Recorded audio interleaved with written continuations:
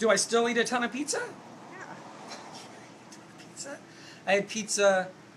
Having pizza tomorrow. Had pizza Tuesday.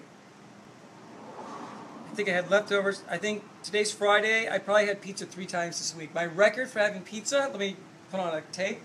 My record for having pizza is having pizza eight days in a row. And the only reason that I didn't have it for nine days is because that day was Christmas and everything was closed, and I didn't save one to do it. So that's my record so far. Eight days. That's right. And I'm actually kind of proud of that. Isn't that weird?